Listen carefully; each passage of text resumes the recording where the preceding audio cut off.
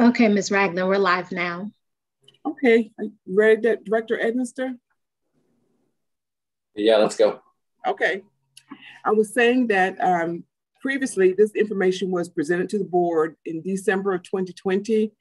Um, but at, since that time, the FTA has given transit agencies an opportunity to voluntarily allow them to review their plans.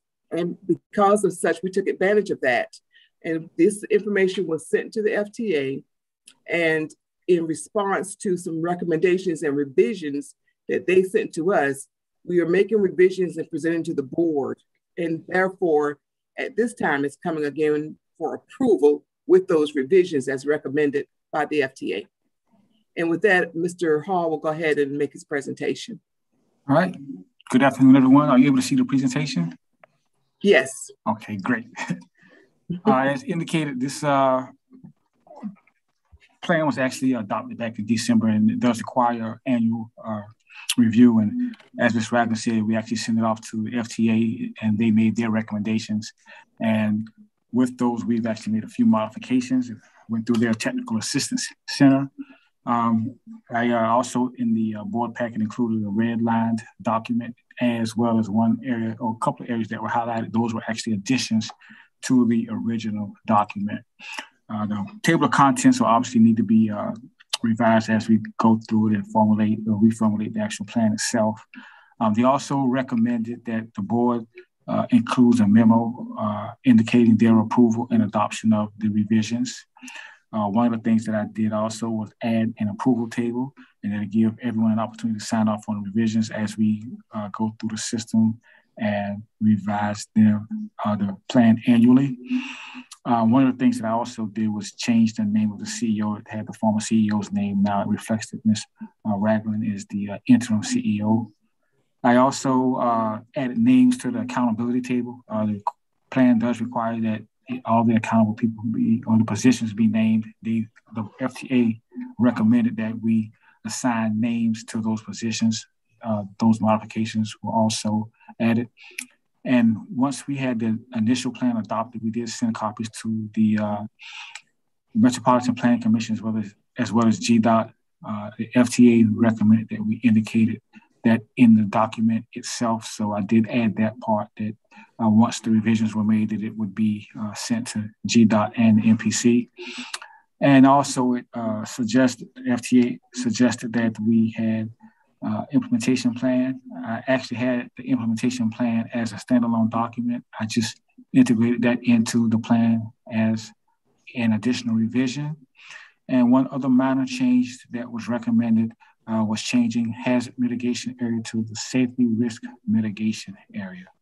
Uh, another uh, and final observation that they made is that because of the size of our agency, we do not have to have uh, a public communications or external communications plan, but we'll probably still keep that just to make sure that everyone is aware of the changes to the actual uh, safety plan itself.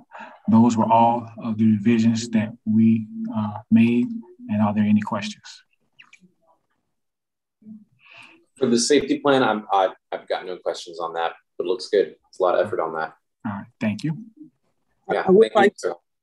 I would like to inform you, Mr. Uh, Director Edminster, that in a previous committee meeting, that it was suggested that uh, a reference to uh, SCORE, which was the vision of the prior uh, former CEO, be removed as well from this uh, safety plan. Say that again. It was suggested by one of the board members that references to SCORE that were included in the initial safety plan be removed. Okay. Cool. Um, to make you aware of that. Yeah, sounds fine. Okay. You have any other questions or? it's just insane. Um, no, not on that. I think the whole thing looks good. Okay. We're not scoring, not sure what we're doing, but that sounds, but you know, long, long conversation there. Um, what's up next? Okay, um, Bryn is, is going to present the next item, which mentions the 5307 capital projects prioritization. If you would, uh, I'm so tongue tied right now, I don't know why. If you would please, Bryn. Yes, ma'am. Hi there. Um, as you know, the 5307 program makes federal resources available to urbanized areas for transit capital, operating expenses, and transit related planning. So historically at CAT, 5307 funds have been used at a 50% match in our operating expenses. And we have been super blessed to have stimulus funds recently. You know that in March of this year, the board voted to approve using operating expenses with our CRRSA funds for FY22, which frees up some 5307 funds. So basically, you have before you a list that was sent out this morning of a bunch of projects, and we're super excited. Um, in the federal fiscal year 21, we got uh, $3.8 million in 5307 funding. And this list has been compiled through cross-department evaluation process, which utilized CAT's board approved strategic plan, CAT's uh, transit asset management plan, internal needs throughout the authority, as well as local match requirements. So you can see in this plan, we've got lots of cool stuff planned for this um, allocation of money. We have the electric bus rollout plan and our TDP. We have some technology upgrades, which include HR and finance, admin, as well as a website upgrade. We have some ITS upgrades that we can add into the system that's currently being created for us, a two-way radio system, which includes some technology, a bus airflow project. Uh, we've been talking, you have been talking the board about parking lot improvements, so excited to see that on the list here.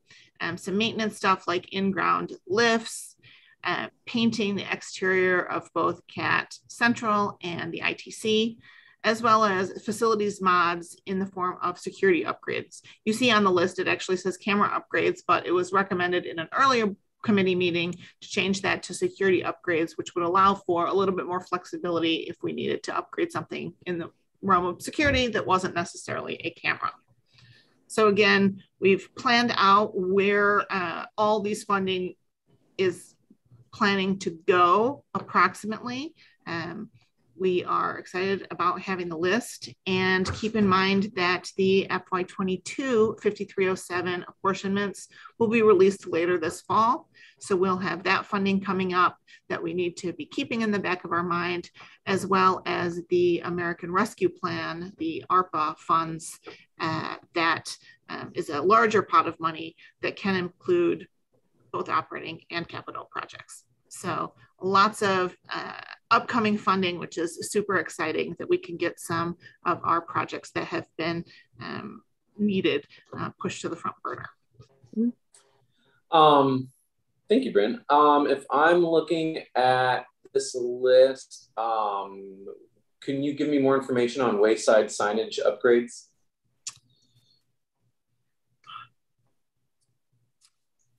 I do not have all the details in front of me, but that does include, um, that is technology based about that, um, that.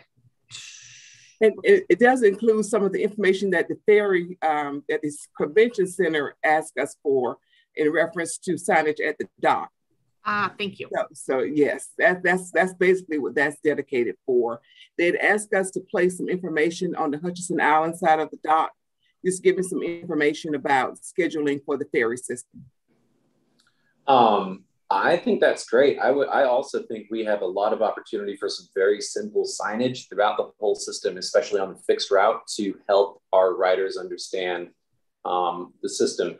I've heard from a number of folks stories about riders using a route for a number of years um, and not realizing that they could be getting to where they need to go quicker, um, but they don't necessarily know that. And I think anything that we can do to sort of increase or, or get people to know how our system works and just sort of how it could be interconnected um, would be fantastic. And I think that could be a combination of um, system, like a whole system map um, inside the bus would be cool, um, or just information, increased information uh, on all of the flags on all of the bus stop poles. Um, I'd love to see just sort of some really simple, sort of non-technology based um, options that we could that we could do. I love the idea of using increased technology. I think that's great, but at the same time, it's just more stuff to fix and ends up being very expensive. But I think if we can do anything that's um, paper based, um, would be would be kind of nifty. Um, I think at the very least, having a system wide map installed in the bus would be really helpful. And I kind of just wonder why we, um, how we can get that done and how much like I'm not I'm not necessarily sure how to sort of make something like that happen. Yeah. Maybe you guys can help me help figure out how to make that work we, we've thought about that before, particularly um, right behind the driver's area, using mm-hmm. that space to place a system map. But then we wouldn't have anywhere to provide information or scheduling pamphlets or things like that. But um, and to put it on the interior signs, we wouldn't have enough room to actually provide the system map. It'd be so elongated, nobody would, would be able to understand it. So we are, as a matter of fact, in a conversation internally about providing better communications among internal staff and our passengers. And that's one thing that we are, are in discussions with. How can we better inform our passengers? So that is, I mean, you're right in line with some discussions we're already having internally. Because, I mean, we have to serve the passengers, and the better informed they are, the better off the services to them. So we, we, we appreciate that. So you're, you're right in line with what we're already talking about. Yeah, no, the whole team's got my support on whatever I can do to help make that happen. Um, and whatever I can do to sort of support that as a board member, I'm here for it. I just think we've got a lot we can do uh, to make that easier. Um, in addition, we have been working on uh, the marketing and communications team has been working on updating some of our signage out in the uh, out in the field, out in the community. And um, I think that'll actually tie in with our amenities um, potential project coming up in the future. You know, there are sign holders at some of our stops, but they're not at all of our stops. And so that is something that we're definitely looking into um, where they're appropriate and how we can get more information out to the public. Yeah, I you know I think like more information is better than less information to a point. Um, we don't want to uh, you know, sort of drop too much anywhere. But I think that could be really helpful. I think that could be really helpful. Um, the other one that I just want to throw out there is, is um, and I, you know, I'm just going to kind of be like a broken record on this whole point, but this idea of trying to mix public art into public transit, which is, I think, allowed with FTA um, uh, funds, is to have some allocation. Uh, I'm not necessarily sure about these about this specific money coming from the feds, but I do know um, that that is something that transit uh, organizations can do. And that could be an interesting thing to consider for under the line item for painting the exterior of CAT and CAT Central. Um, do we maybe want to work with an artist or an arts group um, to have a local mural produced, sort of talking about the story of CAT, talking about the, you know, the importance of transportation. If we've already got $120,000 sort of lined up for that, that could be a really beautiful project um, to bring more pride um, and awareness to what we're doing. And it gets great media coverage, um, which is always helpful. Right. I, I, agree. I agree with that. I've seen some beautiful artwork in Seattle. My son lives in Seattle, and most of their transit stations um, do have artwork, and yeah. it's beautiful. It's beautiful. Every stop has some type of art. So um, we could definitely look into how CAT can can, can make that happen here? I think at Cat Central specifically, that could be really cool. There's a um, some of the mural programs I've done. The the city is always trying to get us to do projects outside of downtown because downtown gets all the attention. Um, and I think Cat Central is perfectly placed in a neighborhood with, a, with some actually fairly large walls that could be really kind of beautiful for um, for doing some collaborations that could be I would just like to, I think, like consider it. I think it's not a bad idea. I think we could get a lot of support for it. Um, again, I would support that as a board member and would be happy to try to, you know, finagle some other funding maybe from the city so that, uh, you know, we don't it can either come from this, but it's not hitting our operational or any other budgets at all. Um, more just all that we would have to provide as CAT is just saying yes, we approve and we actually want something like this, and I think that'd be that'd be kind of fun to do. Okay, great. Definitely look into that. Yeah, that, you you'd be a good conduit to some community partners. I, I mean, it's a long, long list. It's a long, long list. We can definitely look into that. But that's that's it, right, right Bryn? Yes, ma'am. That's it for me. And I do apologize. The first uh, proposed agenda item was the extension of COVID 19 emergency measures. And I, I, I, like unless there's new information, I don't want to take up anybody anybody's time. I know you guys have done this already oh, twice today. Okay. But I I want to apologize to to, to Lenny. I just just went directly from from the top to, to the next item. I just overlooked him. I didn't mean to. No worries. Okay. Lenny, and I don't want to like take your like you know your your your claim to fame away today. No, no. You wanna... yeah, I, you're on the earlier call, so it, no changes, so we're good. Okay, sounds Thank good.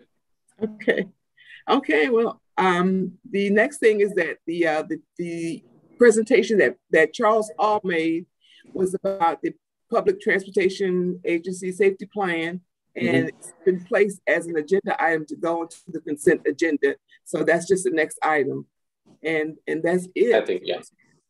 Um, oh, what were the two things? What were the two things? Um, oh crap! I did have two things. I think I, would like to chat with you guys about. Um,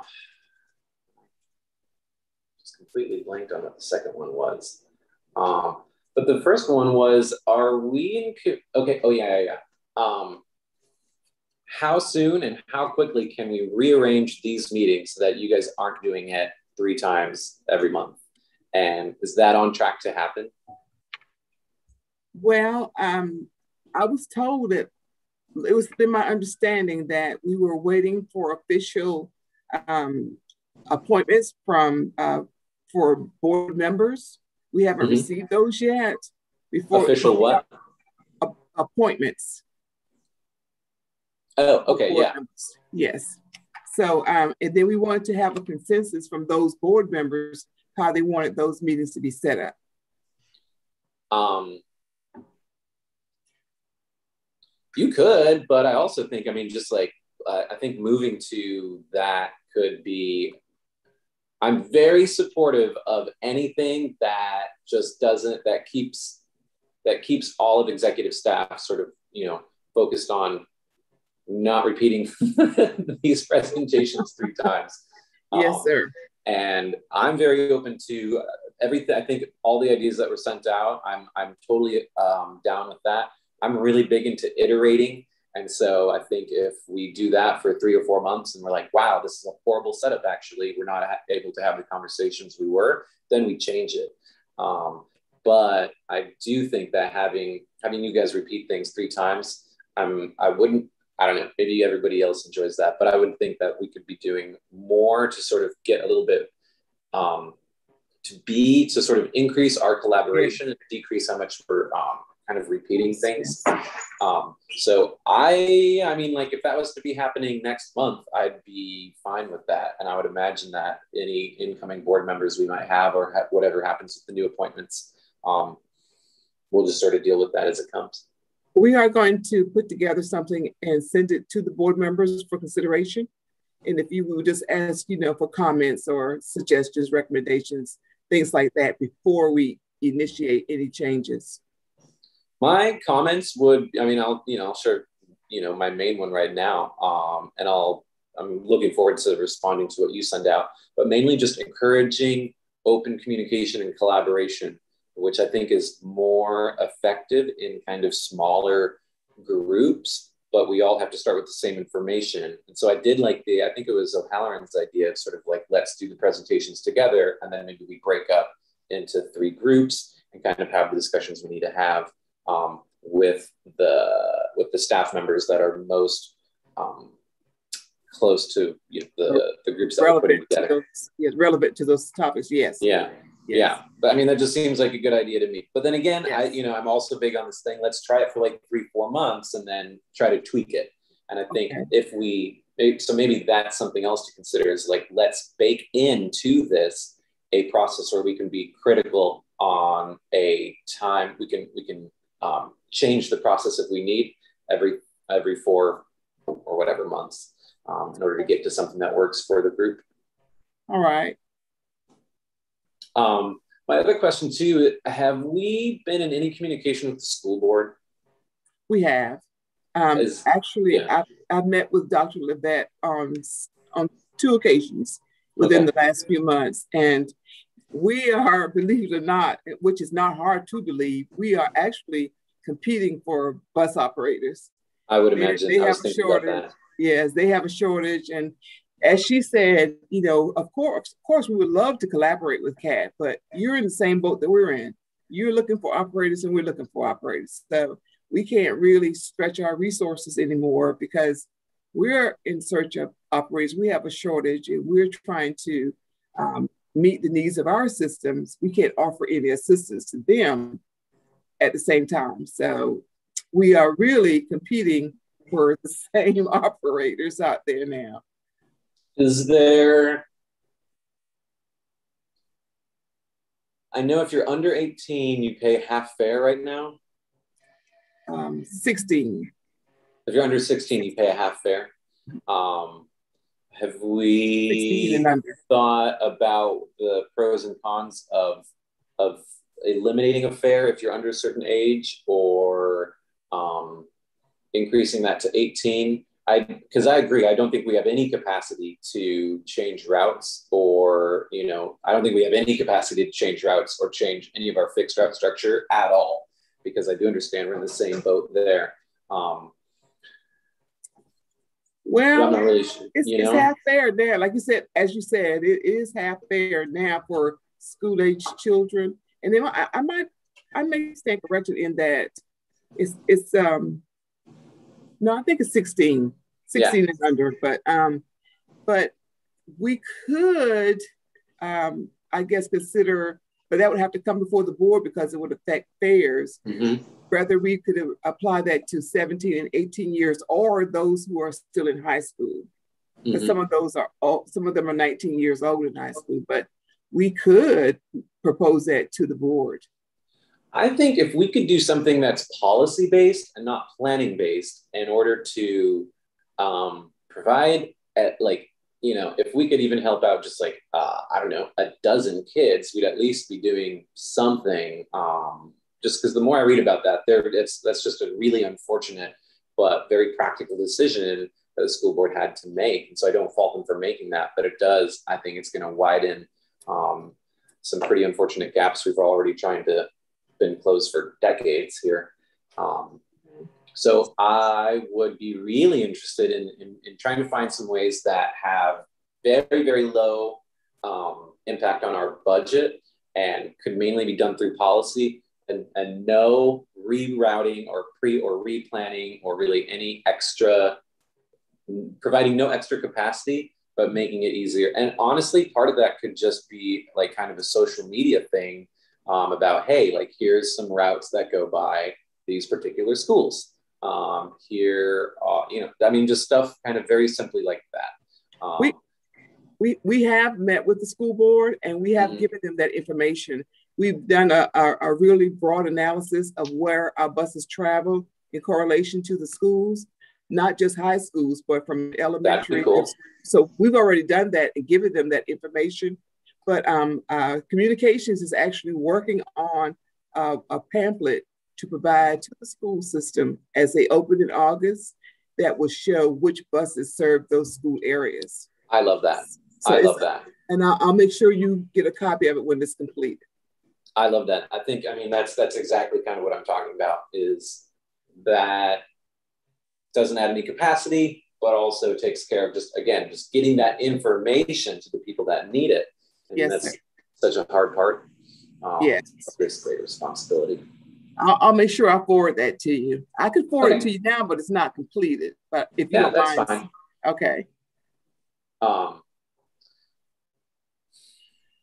that's kind of all that I've got. I would, and just to recap on that, um, you know, thank you everybody for for sharing these presentations. I'm excited that we're going to be able to get this um, safety plan in. That's I know that's been a long, large work in, in progress. Does that have any impact on our insurance? Yes. Yes. Okay. Yes, I think that had been mentioned earlier. That's yes. great. Yes, it does.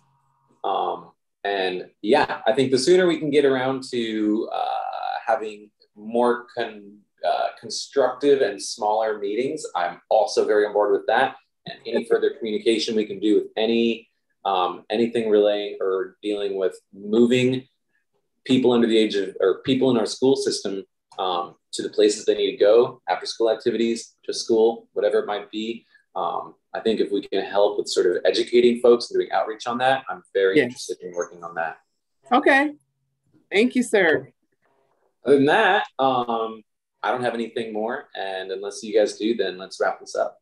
All right. Thank you